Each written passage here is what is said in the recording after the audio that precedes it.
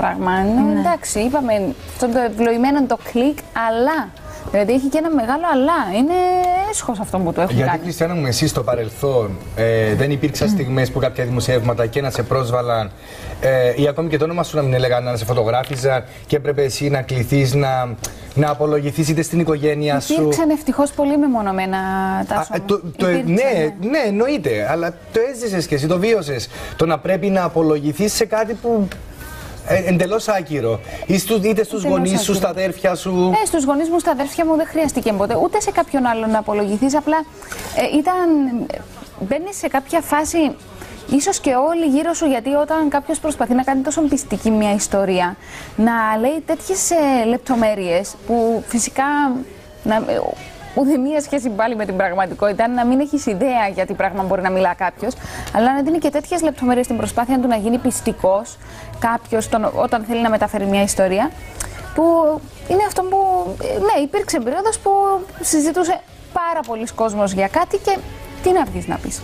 Να βγεις να πεις τι, ότι δεν είσαι ελέφαντας, να αποδείξεις τι, σε ποιον. Ε, Είναι, Πήγες και στη δικό μου μαχαίρι διαδικασία πολλές να φορές. κινηθεί νομικά σε κάποιον από τα δημοσιεύματα; Ε, μόνο κάποια στιγμή όταν γράφτηκε κάτι πολύ χοντρό, από τα πολλά χοντρά τέλος πάντων, ε, μόνο κάποια στιγμή είπα εντάξει.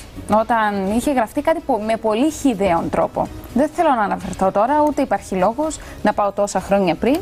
Αλλά ναι, εκεί είχα περάσει το γραφείο ενός δικηγόρου και του είπα: Κοίτα να δεις, θέλω ό,τι μπορεί να γίνει, να γίνει. Γιατί δεν είναι ότι είχε γραφτεί κάτι ψεύτικο. Είχε γραφτεί κάτι ψεύτικο με απίστευτη χιδεότητα. Είχε γραφτεί. Ε, και λέω εντάξει, αφού είναι τόσο χιδαίοι και δεν. Αυτό, εντάξει, πήρα τηλέφωνο, πήγα και μάλιστα η απάντηση τους ήταν όταν. Γιατί ζητήσαμε απολογία. Ούτε χρήματα ζητήσαμε, ούτε οτιδήποτε, απλά να επαναφέρουν ε, την αλήθεια. Είπαν ότι δεν έχουν να, να απολογηθούν σε κανέναν για τίποτα. Ε, και εντάξει, ο δικηγόρος τους είπε: Εντάξει, τότε θα τα πούμε δικαστικά, γιατί ξέρετε ότι δεν υπάρχει περίπτωση να βγείτε κερδισμένοι από αυτήν την ιστορία και απολογήθηκαν.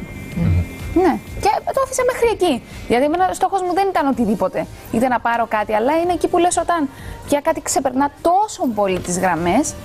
Εντάξει, λες, κανεί. Και είναι κρίμα γιατί στη συγκεκριμένη περίπτωση Χριστίνα μου με τον ε, Σκεδαρέση έκανε ένα μεγάλο βήμα στο εξωτερικό, δηλαδή στο να παίξει σε